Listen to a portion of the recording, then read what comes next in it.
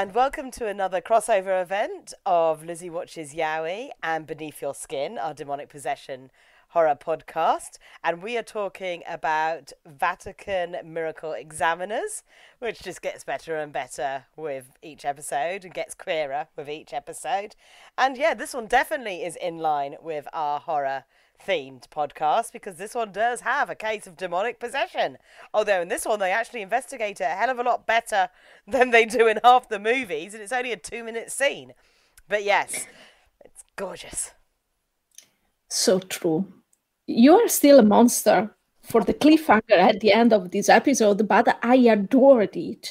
And yes, their research are still better than in many movies we had to endure for our Beneath Your Skin podcast. Hello, dear. So, our lovely episode starts off with our beautiful Joseph and Roberto trying to break into Mikhail Brown's office. And they're like, oh, should priests really be picking locks? It's like, who knows? But apparently, Roberto has the secret skill of also being a lockpick and can break into places he shouldn't be. Because, well, he's a clever, resourceful young man who's also gorgeous. And I love his monocle when he reads things. I'm just like, oh, he doesn't just wear glasses. No, he has a monocle to read his ancient texts. But they break into this office and it's all kind of bathed in this eerie red light. And then you can vaguely, behind this like thin curtain, see the figure of a of a person. And you're like, what is going on there? Then beautiful credits, which are gorgeous, full of symbolism and art and gorgeousness and priests like being semi gay by falling away from each other and reaching. And it's all like, oh, oh, this has set me in the right mood. So we then go back to our office and we find out the figure is the mummified remains of one Father Mikhail Brown. And he's also mummified in all the priestly robes. Now, I don't know the difference in very priestly robes. These are what I normally call like the fancy priestly robes because they're the white ones as opposed to just the normal black ones. So he's obviously revered.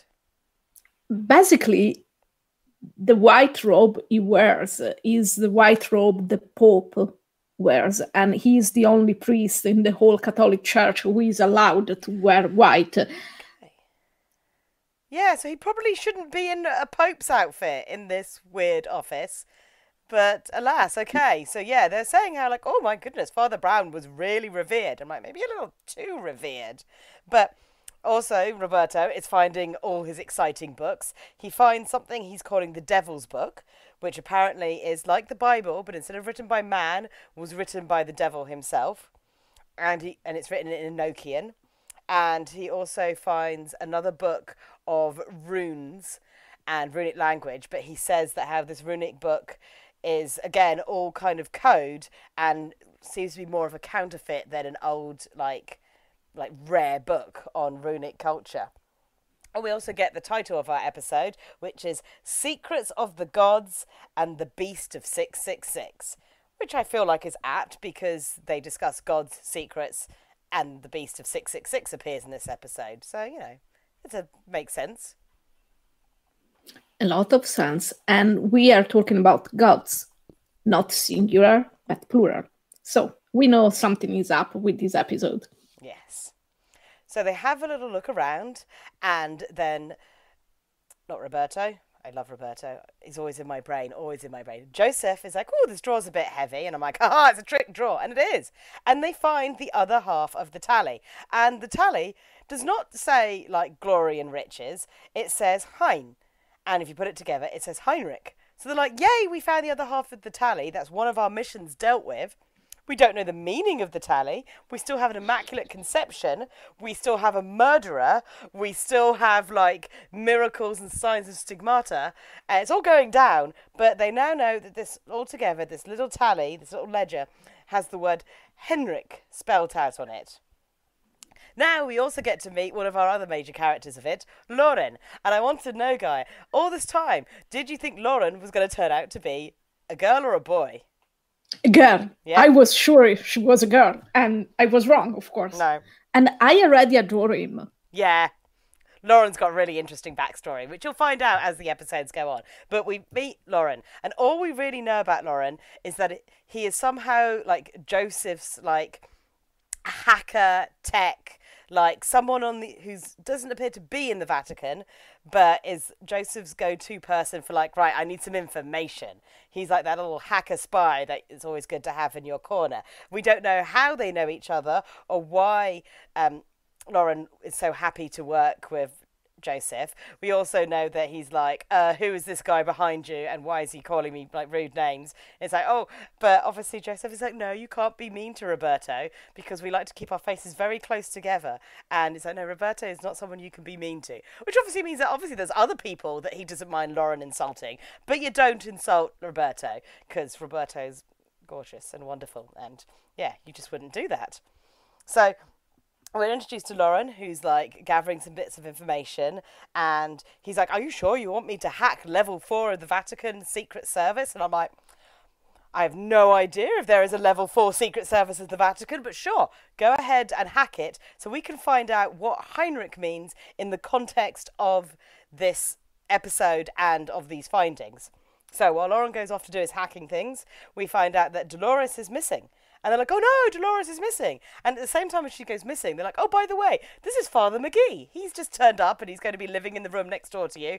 Well, he doesn't seem to shake hands. And I'm like, wait a minute.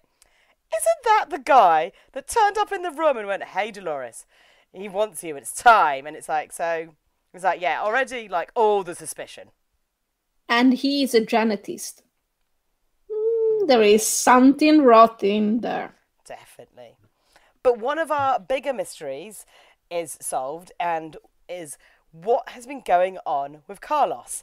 And it turns out it's as awful as you kind of thought it might be. In fact, it was more awful because I didn't actually realize that was going to be Carlos's path. They managed to like keep that sneaky. You kind of always assumed that in this school full of absolutely beautiful boys and demon worship and old priests with like, you know, secrets, you knew you were going to undercover like a paedophile ring. But it's not so much as a paedophile ring as opposed to one poor boy who's been passed around the priests. And that's why Carlos is not in a great place. But at first, they're like, Carlos has been possessed. And he sounds possessed. He's like, doing all the, like, you know, the usual possession, funny voices, screaming, like, writhing around in the bed.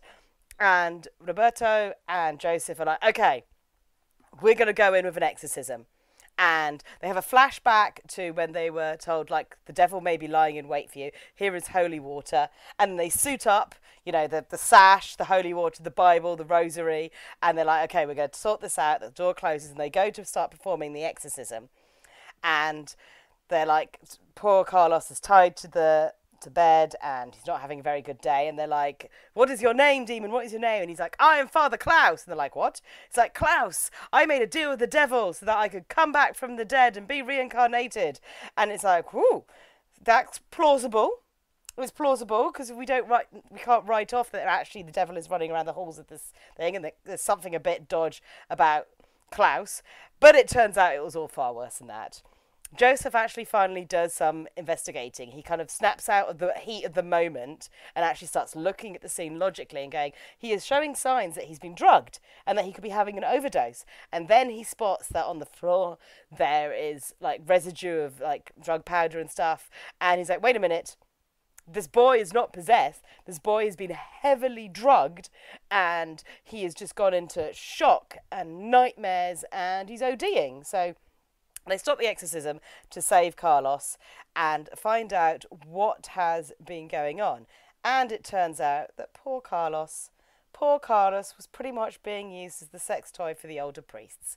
And they were passing him around, and he didn't want to do it, but he was forced to do it. So they made him take drugs so he'd be more like compliable. And then he got addicted to the drugs, so he was selling his body around the place to get the drugs and it's all really awful because I wasn't expecting that. So the guy saying he would kill him, it's not like if you tell anyone I'll kill you. It's I'll tell if you tell anyone about you being abused, he was going to kill him. And then obviously like he was like given a one last overdose to hopefully kill him off. But luckily our gorgeous Vatican examiners came in and saw what was really going on.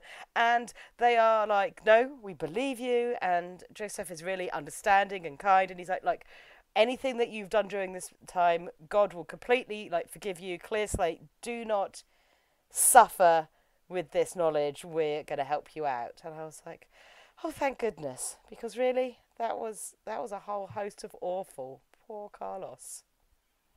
Yeah, I totally agree. Yeah, of course, it's never nice when you find out that boy is being abused by a figure of power.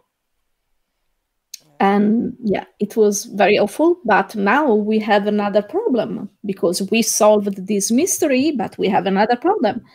Who gave Carlos his last dose in hope of killing him because Father Klaus was already dead? So it's got to be like Santos or there's so many of them with fantasy names, but I've been calling him the white-haired one because it's the oldest one because he's still around screaming miracle and distractions at everybody. So it's like I my money's And- on him. And drinking that awful concoction. Yes, exactly. I'm like, I don't trust you. You and he was the first abuser. He was the first abuser, and then thought, you know what I'm going to do with this boy that I have coerced into like a sexual relationship against his will. I'm going to tell the other priests to have a go. And I'm like, is that which? But now we know why the killer went after Klaus because Klaus is killing off people who are committing sins and their sins are quite the reverse of the martyrs that they are representing in the window. So now we know that Klaus was not a good guy and probably very much deserved death.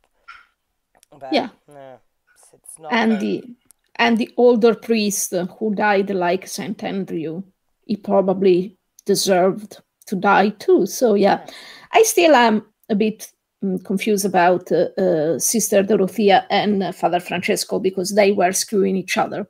So I don't see anything too wrong about that. Well, compared I to mean- like. Yeah. But yes. But we have this interesting conundrum now because, as Joseph says, the killer has got to be A, still around and a member of like this society, like an adult working within this society.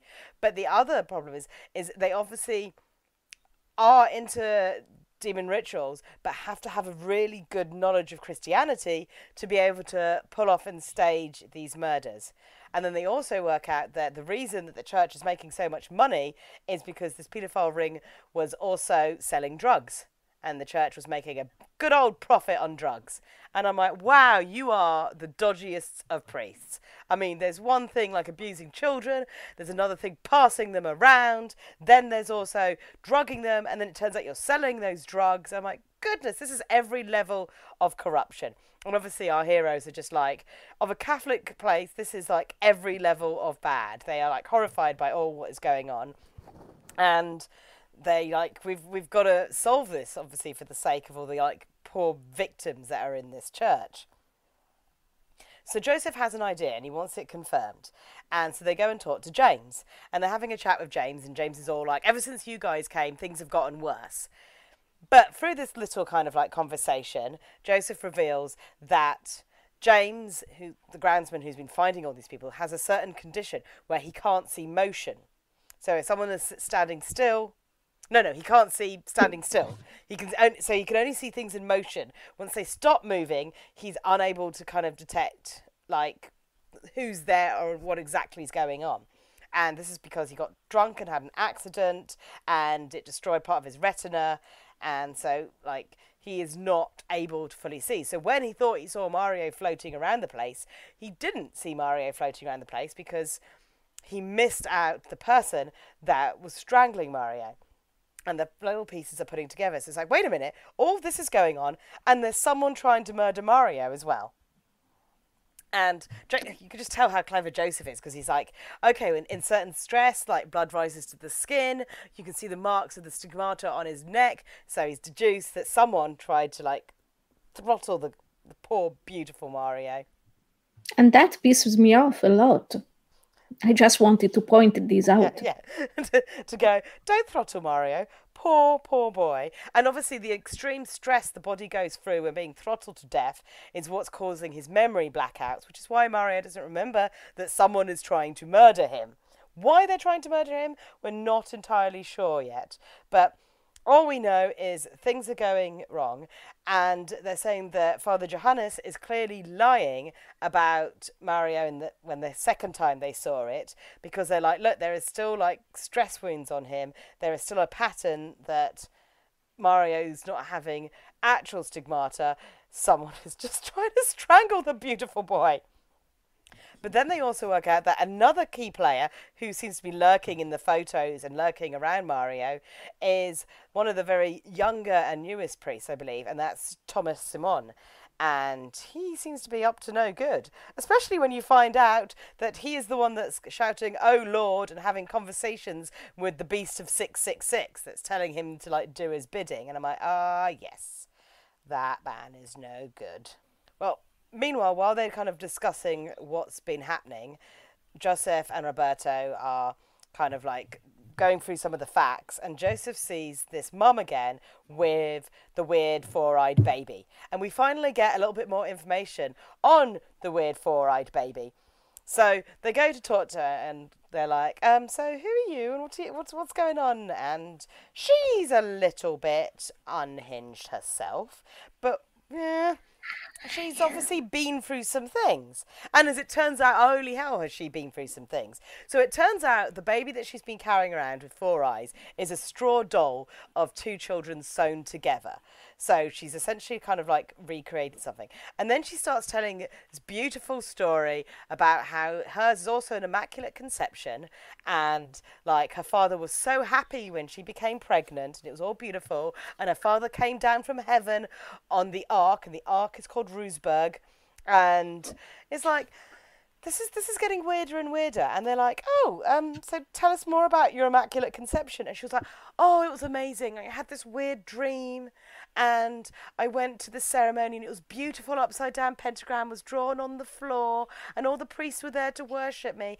And then the next day, I woke up, and I was blessed with a baby. And you obviously you see it mostly in silhouette and stuff of her, obviously clearly like naked and tied down in this demonic ritual of these priests turned up, including all our main characters that we've been like, well, you're all a bit dodgy. And we're like, well, they clearly conducted some horrific demonic ritual on this poor woman, abused her and got her pregnant. And it snapped her mind a little bit. But to add the tragedy to this, we find out that she is also the daughter of Father Brown, and it's like, okay, so you're actually the daughter of Mikhail, and her father was so happy that she had a baby, and the baby was called Lord Janus. And it's like, wait a minute, isn't Lord Janus from Roman mythology and was like a god of doors? Uh, something like this. I don't know much about my Roman. I learnt this from Percy Jackson, so you have to forgive my knowledge of like Roman mythology.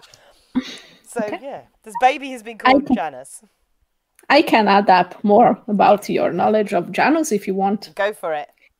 So, Janus was uh, one of the most powerful, uh, even if uh, less known gods in the whole Rome, and he was one of the most feared. He is god of many things. He is god of beginnings, gates, frames, doors, and god of end. He is called Bifront because usually he is represented with two heads watching in opposite direction. He didn't have a temple in Rome because people feared him so much they didn't want to enter a closed place to worship him. So what he had was a building mm, that marked an open enclosure with two gates one at the beginning, one at the end of this beautiful place, beautiful enclosure. When the gates were open, Rome was at war. When the gates were closed, Rome was at peace. Of course, if you know anything about Roman history, you can figure out that the time those gates were actually closed was very, very, very short. But yes, Janus is very terrifying because uh, he's the beginning and the end. He's the first representation of what God is for the Catholic Church. When he is called the Alpha and Omega of everything, is the beginning and the end. But Janus was that long before we had the, the Christian God. So it's very yes. interesting. Very and interesting. And another very interesting thing is that uh, the, um, the surname Brown that can sound English is actually German. And if we add a von or von in front of it, we have von Braun. Von Braun is the name of many important figures in uh, German history and uh, above all in, in Nazi history.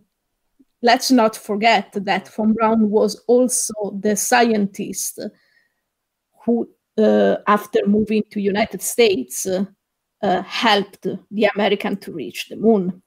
Ah, go. So little little seeds are being like sown here, and we're starting to get this like picture because obviously we've been seeing a beast with 666 with two goat heads and the goat body but looking in different directions coming to believe that we're looking at the devil. But it's not. They are seeing janus or is janus now the devil? And it's like oh something cross like cultural cross religion is going on. And to add to poor mary's like absolutely sad tale like the doctors come out and it turns out that she's gone from a walk from a hospital bed in the infirmary where they're looking after her because she's got schizophrenia and she's telling really weird stories. And they're like just don't, just ignore the weird stories. And they're like oh we kind of can't you know it's like what's and they're like okay so she did indeed get pregnant and she gave birth to two children but one of the children was so heavily deformed it died that caused her mind to snap and therefore she created this straw effigy to kind of carry around the place to remind her of the child she lost. And you're like, oh, this poor woman, she has been through a lot. And she, they take her back, and they're like, this is this is getting weirder. This is getting stranger. And then Roberto says it's so weird that Mikhail, being like such a revered priest at this school, would be happy that his daughter is pregnant when she's supposed to have given herself to God and not get pregnant, but also that he calls the child a name of a god from a different religion to the one that he is like practicing, worshipping, and also like, you know, teaching. So they're like, something is very odd going on here. So our two beautiful boys, Roberto and Joseph, are in their room, their faces very close together. And it's like if you've ever shared a laptop, yes, sometimes you get close together, but my goodness, this. And I think Roberto doesn't have much interest in personal space because he is he really gets into some personal space after like you know they're getting into the personal space of over poor carlos's body when he's like no we're coming together and it's like they now get even closer and Joseph is worried that things are going to hell. Literally, things are going to hell in this place. And he's worried Roberto will get caught up in it, get hurt, and put himself in danger. And he's like, he has to be there because, much like Job, he is being tested. And only by being tested can he find the strength to help his younger brother out. And he's like, but you, Roberto, I don't want you in danger you you should leave. And we get one of our wonderfully little gay moments where roberto is like uh no. Do you think i would not be by your side? And then his exact words are like i thought i thought we are in this together. We're partners. In fact i thought we were more than that. It's like is that all i am to you? And joseph is like no no that's not all you are to me. And it's like oh they're more than partners. They've admitted it, and you get this pan back, and Roberto is just literally practically on top of the poor boy in his chair, and he's like, "Uh, Roberto, like clearly going her personal space. You're practically on top of me here, and it's all, all very beautiful. And then we get our report from Lauren, and we find out the missing pieces to some of this puzzle, and there's a whole host of crazy going on. But we find out. So first, they came here in 1945, escaping from Germany after the Second World War.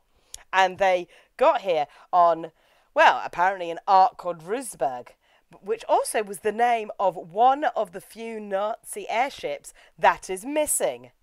And it's like, oh, so the ark was actually a, a Nazi airship that got there, and obviously it's like no one ever found it again because it had well, Nazis on it that have crashed in this church and rebuilt this church. And we're like, oh my God. And it also explains like the use of runes because that's very much used in a lot of like German writings and especially like when they started using like demonic rituals as a, a way to kind of like advance their cause. We all know that the Nazis dabbled in black magic to see if they could like help win the war.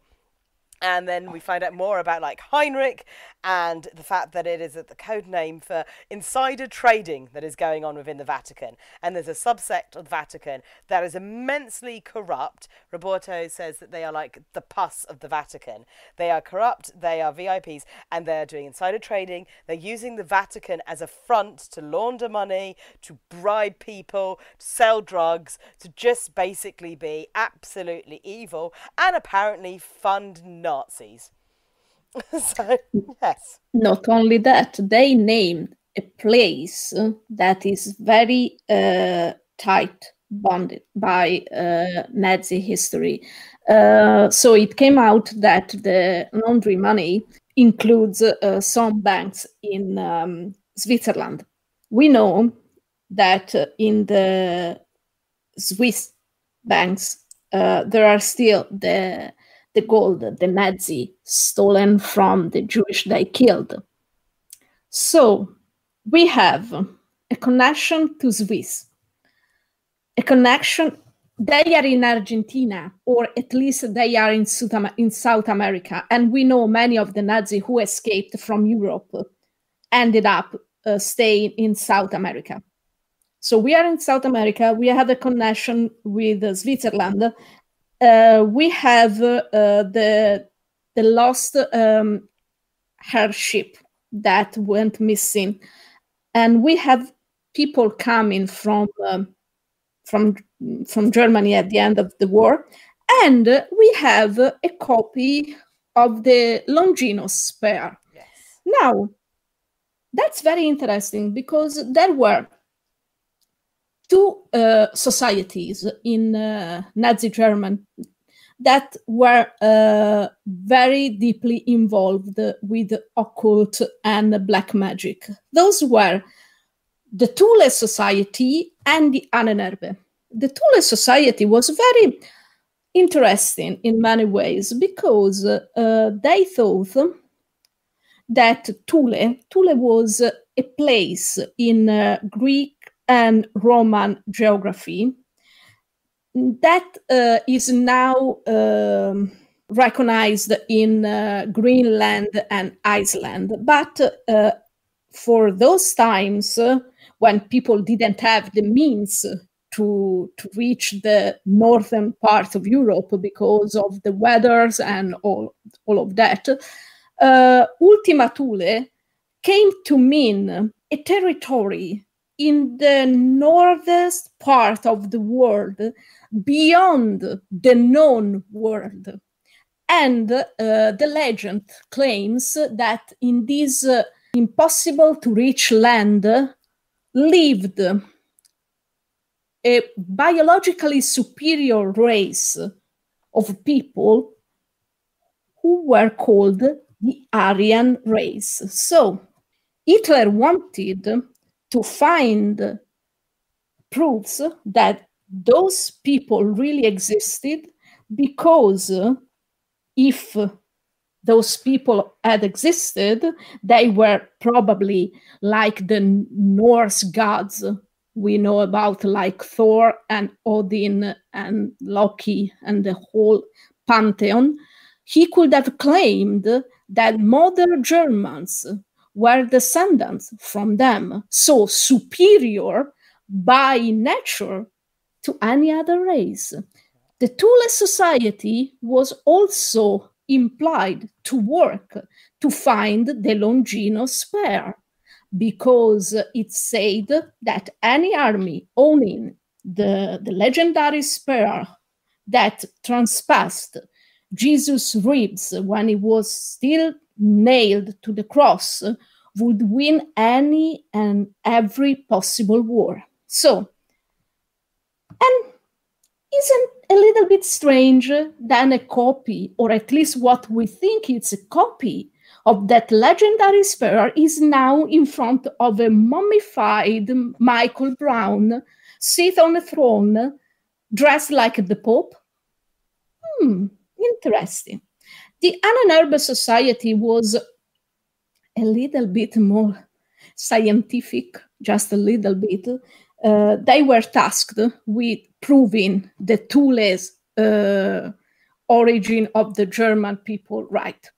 So not really scientific, but at least a little bit more. Then they uh, totally derailed because they were um, involved in human experimentation in the camps. And he said that um, Dr. Mengele was a part of the Ahnenerbe, and we know he was uh, a monster and not a doctor. He was responsible for some of the most brutal human experiments in the camps. So, and we know that Dr. Mengele died in South America, never paying for his crimes. So we've got some bad, bad juju, bad people, bad history. Not surprising there's a lot of demonic energy and something vile underneath the surface of this church and this school dormitory. So Roberto and Joseph go out at the night to kind of get some more facts and to do a bit of spy work. And they are trying to witness one of these, you know, the devil summoning game. And they're spying on some students who are playing the game. And you can't quite see who any of them are because they've all got their hoods up. But obviously, they're using a Ouija board to kind of ask, like, oh, what kind of school am I going to go to? You're going to be a great lawyer and we're trying to get a closer look at the Ouija board. And Roberto is like, "This is weird. It's written in runes," and it's like, "Oh, so this is, this is maybe a German Nazi Ouija board going on." But the kids get spooked and run.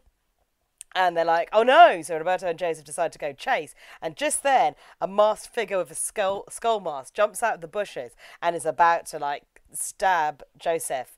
And oh, wonderful, wonderful Roberto. It's like, no, I will put myself in the way. I'm going to wrestle with the knife.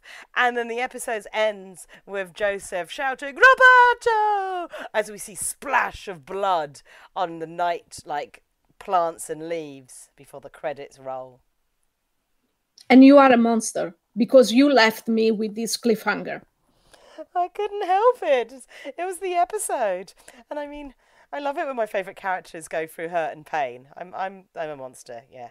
Okay. Yeah, same, same. You know, I adored the that hand, but hey, I want to know what the hell is going on now. Oh, you'll have to wait till next time. You're a monster. See, see. Especially People. since I hold the episodes, so I'm like, I will release the next episode. Hmm. Maybe later today, maybe tomorrow morning. Mm-hmm. See, people, you are witness She's a monster. I adore her, but she's still a monster. And you know what? compared to all the crimes that came to light during this episode, I'm like, whew, there was a lot. I mean, there was child abuse, demonic possession, like murder, like ritualistic abuse of a young woman, schizophrenia, mental health issues. Nazis, experiments, cults, and a stabbing. I'm like, whew, that was a heavy 20 minutes. Yes, very heavy. They felt much longer. yeah, but also juxtaposed with some of the more gayer moments. There was a lot of very close face. There was a lot of like, we must be near each other and call each other's names, and a lot of like, and also Roberto calling Joseph Hiraga and because obviously in the Japan you call people by their like second names, but if of their first names, it's it always confuses me. But it's a sign of how close they are that he can call him Hiraga, his Japanese name, rather than like his like Western name. So I'm like, oh, there were so many beautiful, beautiful little moments for them, and these priests love each other so much. Yeah, I should have screamed uh, "Just Kiss" a couple of times during yeah. this episode. You got anything else to add, Miss Gaia? No, not for now. No. Well, so for now, I'm going to say if you obviously like horror and demonic possession, check out our Beneath Your Skin podcast, which you can find through Twitter and Facebook and on YouTube and on Tumblr and everywhere. Obviously, if you like anime, check out my Newbie versus Weeaboo podcast. Or if you just want to chat to me, Gaia, about life, you can get me on Let Zoe Spoil You. Pretty much gets you on all my social media from Twitter to Instagram. And Miss Gaia heads the Beneath Your Skin over on Twitter. But for now, so, bye byes. Thank you for listening and see you next time. Bye-bye. Bye. -bye. bye.